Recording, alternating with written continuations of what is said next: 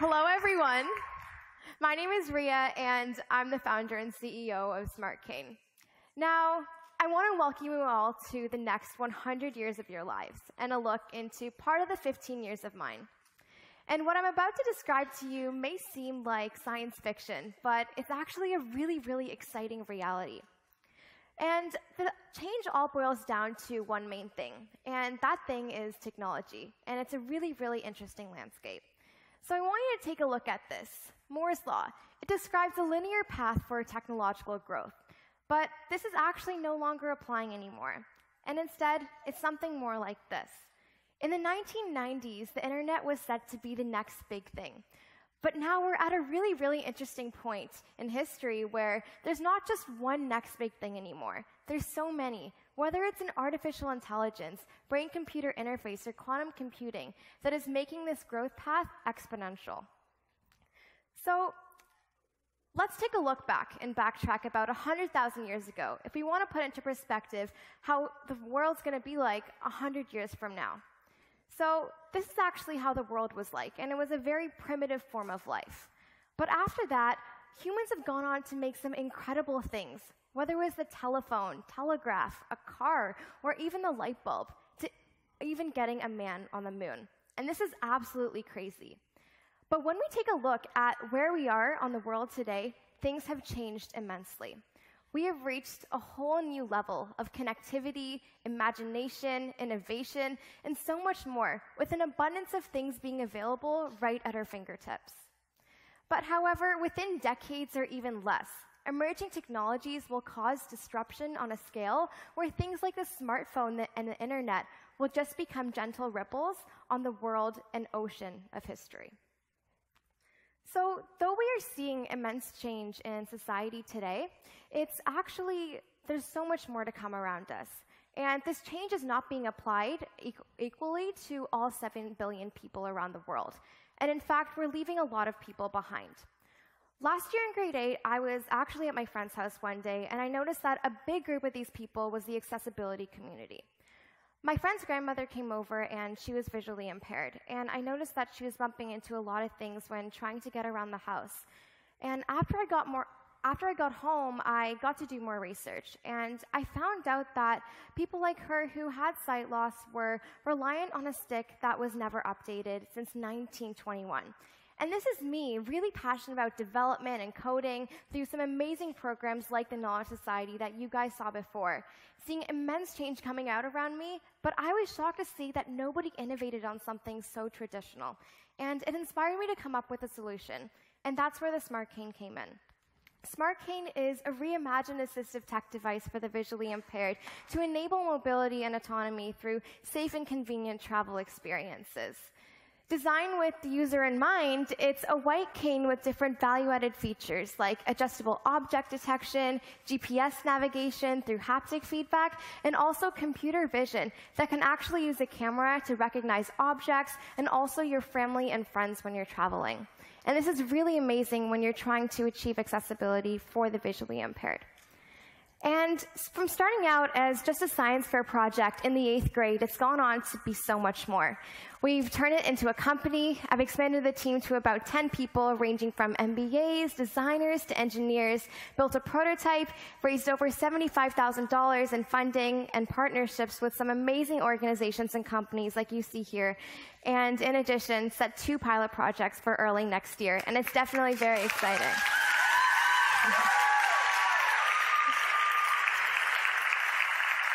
Thank you so much. So we need more change like this happening around the world. But how do we achieve that? The only way that we're going to make substantial change to solve a lot of the world's biggest problems is to get more smart people working on it, driving the solutions. But how do we actually do that?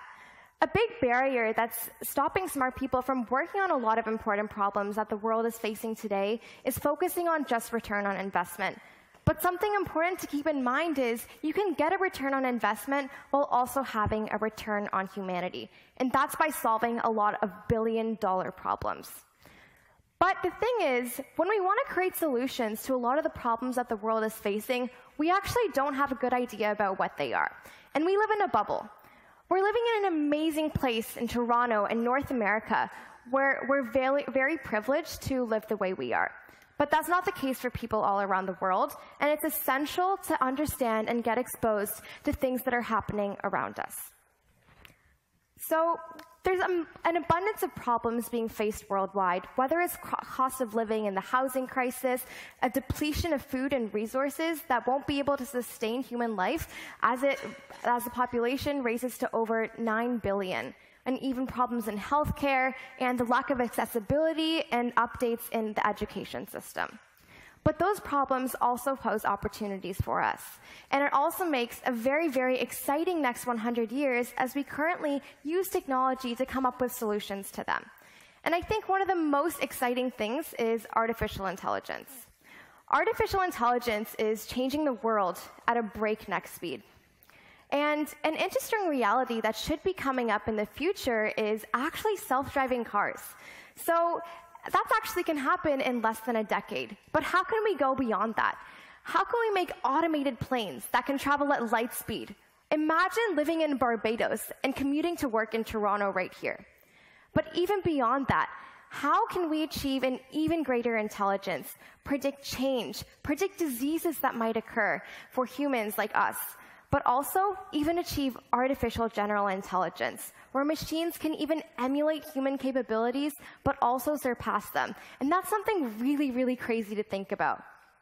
But how about bringing our brains to the 21st century? Something that hasn't been updated even longer than the white cane.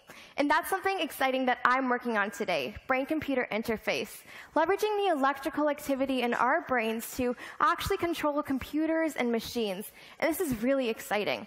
A project that I'm working on right now is actually controlling a car and moving it with your thoughts. And it's definitely so, so interesting, and I'm learning so much. But what if we can go beyond that? Instead of just a brain to a computer or brain to a machine, what about a brain to brain? Controlling and connecting our minds so we can communicate telepathically. Or even going beyond that, how about connecting our brains to the internet? Imagine what we can do with that. We can download knowledge. Learning will be disrupted. But even getting to experience another person's life and learning skills like Kung Fu in seconds. And another really exciting thing is this is already happening today. It's not going to happen 50 to 100 years from now because people are working on it right now. But all of this pales compares to what will come later the ability to control our own biology, using technologies and methods like CRISPR Cas9 to actually edit our genomes, augment human capabilities, and even create designer babies. But something that I'm most excited about is human longevity. What if we can live like we're 22 until we're 80 or 90? Hey, girl, yeah. Or even further, being able to lengthen our telomeres, produce more shelterin, and reduce senescent cells to lengthen our lifespans to maybe 125 or 200 years. And that's something really, really crazy to think about. But what's the so what?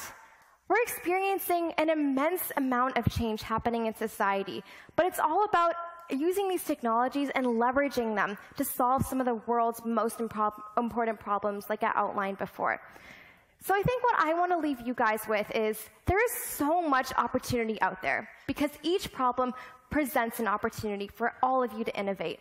Your age doesn't matter, your gender doesn't matter. It's just your willingness to put in the work, how passionate you are about something, and how much you hustle. And I encourage all of you that if you see a problem around you, just go for it. And another thing is, we need a lot more smart people working on solving some of the world's most important problems. And an essential thing to keep in mind is that there's a lot of economic incentive, but also that impact incentive that's going to help you do that. There's not one or the other because you can achieve both. And that's an amazing opportunity. And thirdly, you don't have to be a rocket scientist to get a ship to the moon. If you don't have experience to actually act on a problem that you see, that is okay. You can lead a team, you can manage people, and you can be the vision for that change.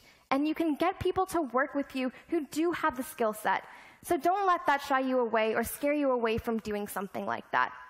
And lastly, I think the most important thing is you have to take an unconventional path to achieve unconventional success.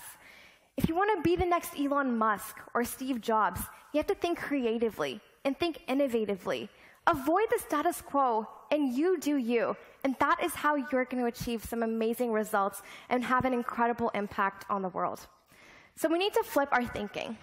We all need to think more innovatively, creatively, and put in capital to solving some of the world's most important problems. And when we do that, that is when we're going to achieve immense disruption. So let's start building the world that we want to live in today. Thank you.